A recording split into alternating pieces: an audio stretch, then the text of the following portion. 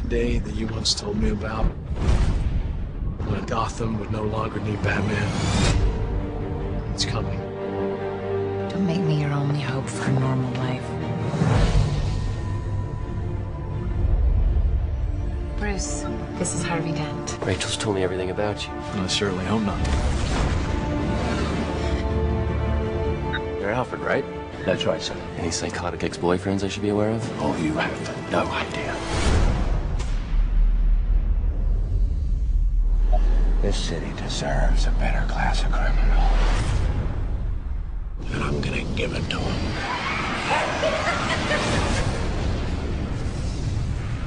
I'm a man of my word. I've seen now what I have to become to stop men like him. Know your limits, Master Wayne. Perhaps this is a man you don't understand. Where is Harvey Dent? I'll settle for his loved one. Some men just want to watch the world burn.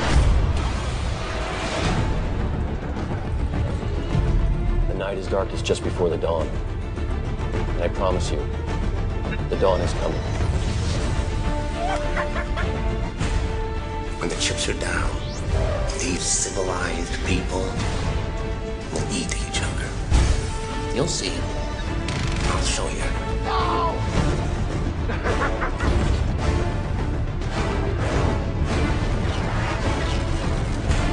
A hero, or you live long enough to see yourself become the villain.